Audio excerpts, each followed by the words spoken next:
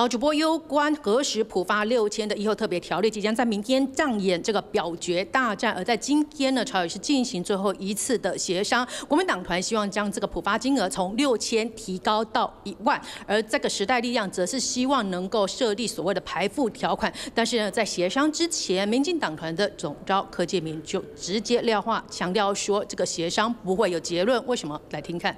了解一下，就是说六千跟一万现在有没有共识？还是等一下还要再处理讨论一下？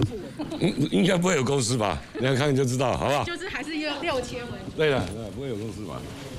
哎，所以你认为陈忠燕的事情有影响到赖清德吗？你你意思想问这题说假装？你觉得会影响到吗？有派系内斗吗？绝对没有啊。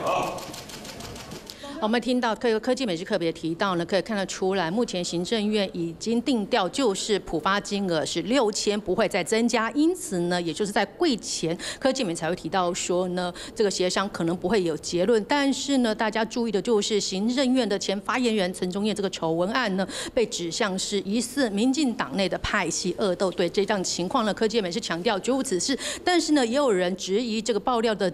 资料来源其实就是剪掉，而对于这样的指控呢，法务部的次长陈明堂怎么说？听看。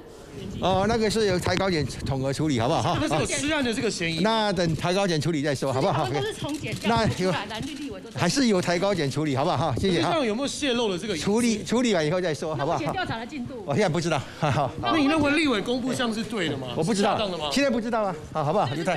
现在由台现在由台高检处理，以后再说，好不好？哈。士气有没有？他们他们处理以后再说，好不好？谢谢。好，抱歉。谢谢。